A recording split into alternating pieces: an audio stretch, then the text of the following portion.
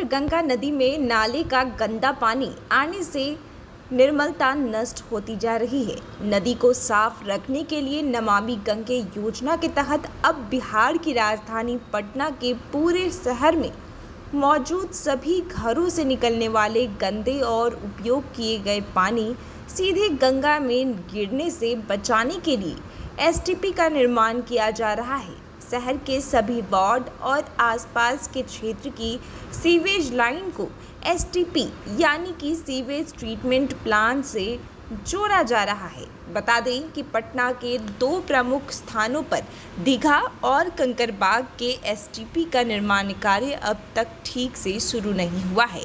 इन दिनों स्थानों में जब ज़मीन के अधिग्रहण के काफ़ी समय लगने की वजह से परियोजनाएँ निर्धारित समय से करीब दो साल देर हो चुकी हैं। अब ज़मीन अधिग्रहण की समस्या समाप्त होने के बाद इनके निर्माण शुरू होने के संबंधित उपचारिक पूरी तरह से कर ली गई है। इसका निर्माण वर्ष 2024 दिसंबर तक पूरा होने की संभावना है।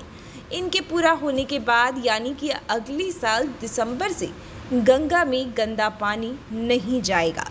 दीघा एसटीपी की क्षमता 100 एमएलडी मिलियन लीटर प्रतिदिन और कंकरबाग की क्षमता 50 एमएलडी होने वाली है।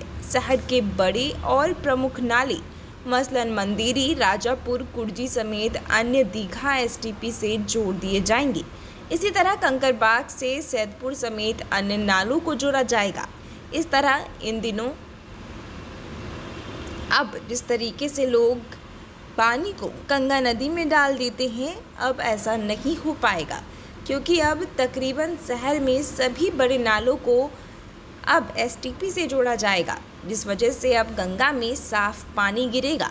पटना और आसपास क्षेत्र को मिलाकर सात एसटीपी बनने वाले हैं, जिनमें दो को छोड़कर अन्य तैयार हैं।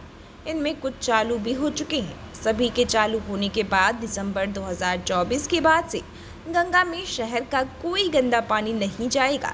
इस मामले में बोडको एमडी धर्मेंद्र कुमार सिंह का कहना है कि आगामी दिसंबर तक दीघा और कंकरबाग एसटीपी चालू हो जाएगा। Bureau report, news PR live, Patna.